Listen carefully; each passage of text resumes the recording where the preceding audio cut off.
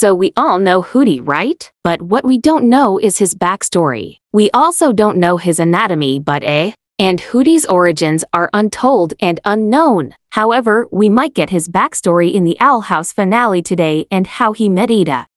However, we do know a bit about him. Hooty mentions that it all started with a hunt and the skies were blood red.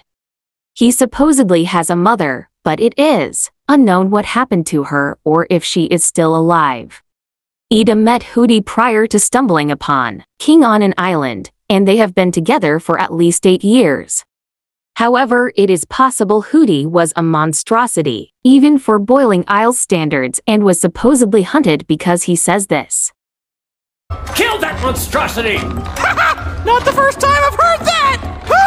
Some theories include him actually being born from hell or being born outside of the Boiling Isles. One so you let us know down in the comments down below.